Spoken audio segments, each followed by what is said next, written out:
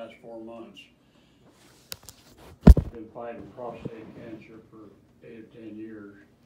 And then now he's got bone cancer and he went through all that treatment. And then he started pissing blood Oh, and, uh, he's back in the hospital in Oklahoma City. In the ER. And I don't know what happened, but they, they left and went to a hospital in Edmond. And, uh, they immediately gave him two units of blood. But when he was in Oklahoma City, his reading was seven point one and Medicare won't pay for it unless it's 7.0 ugh, or less. But, but anyhow, he, he wasn't getting any better. So he saw a urologist yesterday, or a couple days ago. And she took him in for outpatient business down in the Baptist Hospital in Oklahoma City. And they went up through his penis and flushed out all the pus. He was infect, had an infection all over his whole total. His kidneys, his uh, liver, his, his, uh, everything. Uh, Bladder, it- they said he had bladder cancer. And uh, now they, they feel pretty good. He's, he's gone blind to make matters worse. And and his wife, when she called me yesterday, she said, well, we're looking forward to being able to come up and see you. wow. Is that, is that blindness reversible, Grandpa? No, Ugh, no, he went for a while with shots in the eyes. But, uh, as far as I know, it's not. mm, I'm the one that should be blind because I've had, been a diabetic for thirty-two years. Yeah, no, that's one of the, you know, I'm, I'm still on my last eye examination, I was, they said that I was twenty, twenty-five. My left eye is not what it used to be. Of course, I didn't tell them I had double vision, because I went through that once before in Houston and spent a whole bunch of money and didn't do a damn bit of good, so I didn't even broach the subject. Sometimes I have to stop and focus, shut one eye and focus in watching television because I got a dumb fit. What do you expect? I'm only 89. 89. That sounds like 1930.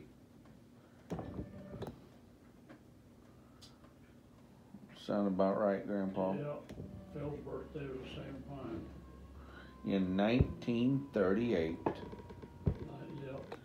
38? And Phyllis's was on the same day as mine. 1950. 1964. 64. What's that her? 64. She yeah. Make sure almost. 53. 55. Sixty-four makes you fifty-five. Don't seem possible. Well, you remember when she was just a baby. Nancy would have been, uh, sixty-nine had she lived. Sixty-nine. I see Elijah Cummings died, Yeah, he was sixty-eight. sixty-eight, And then Melinda was born in nineteen fifty-five. Fifty-five. Melinda was born. Hammond fifty-three, Rory in fifty-nine. Old-time memory's still pretty good. Yeah, sure is. Short term, but, Melinda was a January baby. yeah, twenty-sixth. January of I fifty-five. accomplished something this morning. When I sat here in the chair, there were two things I wanted to do. That was go put my laundry in the wash machine and wash it, and then I'll come in here and turn the thermostat down because I had it at eighty. And if it even with clothes on, it felt a little warm to me, so I turned it down, and I was able to do both those things without forgetting. Hot dog. But, uh, last night I went I was out of water, I went to the refrigerator, did something else, then went over there and did something else at the sink. Walked back in there, sit down, and I was still out of water. Nah, dad blast it. Well, how's the memory from January of fifty-five? Where were you, where were you at in January of fifty-five? Is, I was walking down the street by the, uh, Elk Smoker, which is with a pool hall, beer joint. And, uh, in what city? Pratt, In Pratt, Kansas. and, uh, I was fully expecting a boy, and after the third child, I was thinking it would surely be a boy. But, uh, the boy didn't come along until the fourth child. And Phyllis was supposed to be twin, twin boys, Wow. but it didn't work out that way. Uh, But she's got a couple of, of uh, boys, my grandsons, you know, yep. What's that? Cody Carson and, uh, so I guess three, yeah, I've, see, I screwed up, three. Cody, Cole and Carson. Cole and Carson. Yeah. Cole's getting married on November the first, Three, three young men there. going to the courthouse, to get it done. Pratt. So most of your, all your kids were born in Pratt. Everybody but Nancy, Mm, yeah, she was born in Fairfax, Missouri. We had a brand new hospital then. It was about, uh, I'd say fourteen miles from where we live in Rockport. And what do you remember that, uh, that January nineteen fifty-five morning when Melinda was born? Nineteen fifty-five, Was it fifty-five when Melinda was born? Melinda was born in fifty-five, Yeah, fifty-five. yeah. January fifty-five, so it would've been cold. I I know exactly where I was at, I was in front, I was just left the Elk Smoker and was in front of the, uh, Barron Theater when somebody else hollered at me, they said, you need to call, you need to call home because it's time to have a baby. And, uh, so I drove home in the company truck. And sure enough, Phyllis was born, our good friends Cecil and Betty Gibson were over at our house, brought me a big birthday cake. She always had a new pie or new cake, anytime you visited her, or she would bring you something. Well anyhow, during the birthday party for me process, all of a sudden Betty says, I gotta go. And Philip was born that day. Yeah, they do it a little different now than, Yeah, I suppose. yeah, I guess so. I mean, you knew that, uh, grandma was ready to have a baby, but you were just tending your business and somebody, small town, Ted, we heard it's time, go on home. That's how you got it outside of the oak smoker. Yeah, I, I, I shot a lot of snooker and golf, played golf on a snooker table. That's how I made enough money to buy the kids' clothes.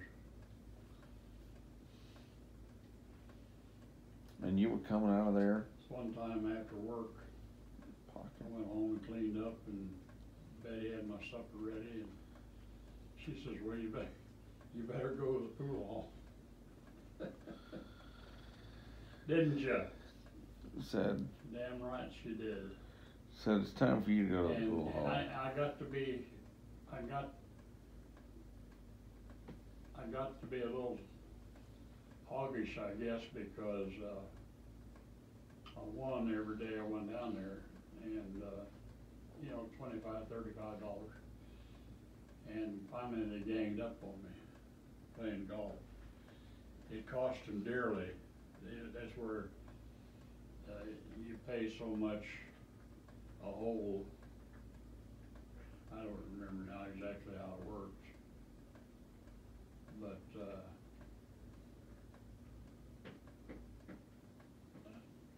there's about four other players in this game, and, uh, they were working for each other to beat me. I almost pulled it out, and that's when I quit. What was your nickname at the time? Cause you had a nickname in the hall, right? It was fast. No, no, Come on, man. no, but, uh, and I can't remember the guy's name, but one of those, one of those uh, big-time pool players came in there one time and challenged me. And, uh, he beat me about five games in a row.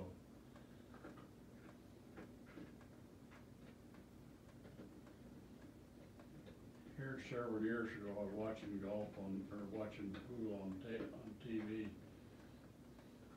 And, uh, of course, they were old, old videos. Can't remember what the guy's name was. He was traveling through the country. I, I, I, got in another deal one time when I first moved to Houston, down to Dugout, where I went in there on Saturday morning and started playing pool with the owner's boys. And two of them I, I, I didn't let win. So they called the youngest one in and he, he was the shark. He was about fourteen, left-handed shooter. And, uh, I gave him a lesson or two. And all, I, I went all day playing pool and never lost a game. And that evening, some guy came in. I can see him, but I can't think of his name right now. He worked for Fluor. Anyway, he came in and, uh, he was, uh, he thought he was a hot shot. And I beat him three or four games. We were playing eight ball. And he left and he came back with somebody that was with him. And I've been drinking all day. And I beat the guy, he, he brought this guy back, he thought that he'd find somebody could beat me, but he didn't. And that was, that was from like nine o'clock in the morning to eleven o'clock the night. You couldn't I go was- down. I was not having any problems with, uh, with, uh, I was real flexible. I was- That's I cool. think I was drinking, uh,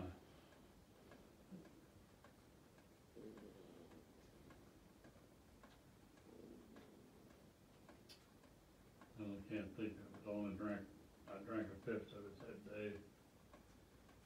Back in those days, you could carry a bottle in a paper bag into, the- into beer hall. Mm, And, uh, so I bought a fifth. Oh, a Southern Comfort. I've never drank any more Southern Comfort. some SoCo.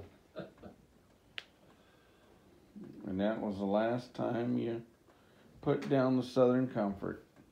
I, uh, you know, here's some years ago, when, uh, Beverly, Beverly had her place there, you know, we went to on a regular basis. All the time, yeah. She started a pool, two pool tournament, and I won. I either got first or second for several weeks, about six weeks in a row. And, uh, there was, there was an old guy down there, I said old guy, he'd been in prison. And those guys that are in prison usually are pretty, pretty good pool players. And, uh, he, he had a chance to beat me, but he didn't. And And I was actually pulling for him because I got the feeling that they're gonna turn on me like they did down at Pratt. Mm, And I, I finally slacked off and quit, just quit playing. Well, actually what they got, got going, they got a bunch, from other beer halls, they got a bunch of Mexicans come in and started playing. And of course, when you're playing for money, uh, that can get pretty scary sometimes, especially with with those Mexicans, I'm sure that they all had knives on them. sure. Anyhow, You made it out to make it to eighty, they paid, eighty-nine. Beverly paid cash, whatever, it, it only cost like five dollars to get in. And then she matched, she matched the, whatever amount there was, depending on how many players. When I first started, were only about eight or ten players. And, uh, she paid cash, you know, for first place and then had a, gave away a pool cue or something like that for second.